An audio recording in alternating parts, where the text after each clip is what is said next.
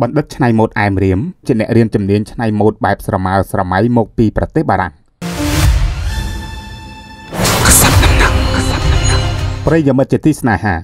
ជុំវិញបញ្ហាម៉ូដសម្លៀកបំពាក់របស់បណ្ឌិតឆ្នៃម៉ូដអែមរៀមមិនទាន់ចប់នៅឡើយទេដោយកាលពីថ្ងៃទី19ខែមីនាឆ្នាំ2023ម្សិលមិញមានសាធារណជនជាច្រើនបានបញ្ចេញយោបល់ខ្វែងគំនិតគ្នាជាហូរហែ មហាជនមួយភាគធំបានប្រើម្រាមដៃដ៏រវិះរវៃសរសេរសំណេររិះគន់មិនសំចៃចំពោះម៉ូដសម្លៀកបំពាក់របស់អែមរៀមគណៈមហាជនមួយភាគទៀតបានបញ្ចេញមតិជាកណ្ដាល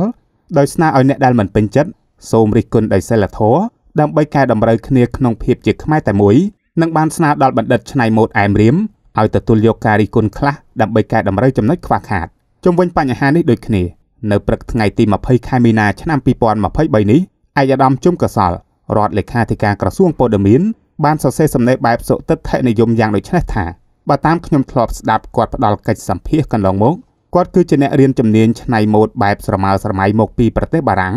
ការច្នៃបែបស្រមើស្រមៃនេះគឺច្នៃតាមអារម្មណ៍ស្រមើស្រមៃរបស់ខ្លួនដោយមិនចម្លងពីគេឃើញគាត់ស្លៀកពាក់បែបនេះខ្ញុំឃើញបងប្អូនយើងមួយចំនួននាំគ្នាស្ដីជេរគាត់តែធៀបពិតគាត់ធ្វើបែបនេះគឺជាការបង្ហាញជំនាញរបស់គាត់ដែលនៅកម្ពុជាយើងគ្មាននរណាអាចធ្វើបានដូចគាត់ទេ សូមស្វែងយល់ឲ្យច្បាស់អំពីសិល្បៈវប្បធម៌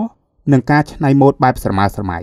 នៅអឺរ៉ុបគេស្លៀកប្លែកជាងនេះខ្លាំងណាស់ខ្ញុំសូមអធិស្ឋានមិនការពារគាត់ទេគ្រាន់តែសូមឲ្យបងប្អូនសិក្សាស្វែងយល់និងបែងចែកឲ្យច្បាស់មុននឹងប្រតិកម្មសូមអរគុណ